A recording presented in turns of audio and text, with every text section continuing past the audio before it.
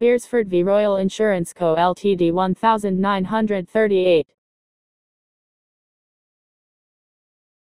In 1925 Major Rowlandson took out five life insurance policies on his own life with the defendants, Royal Insurance Co. Ltd., amounting to £50,000.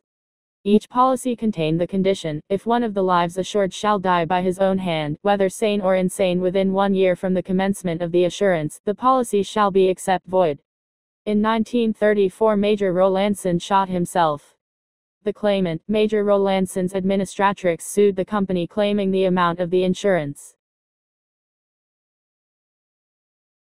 The defendants pleaded that as Major Rowlandson had committed suicide, the policies had become void. The House of Lords held that on true construction of the contract the insurance company had promised to pay the amount assured if Major Rowlandson intentionally killed himself while sane. However, they then looks at whether the contract was enforceable in law. It was established at that time that suicide was a crime in English law. The court referred to cases such as Crippen's case 1911, p. 108 in which it was held that the estate of a man, who murdered his wife could not benefit from his crime.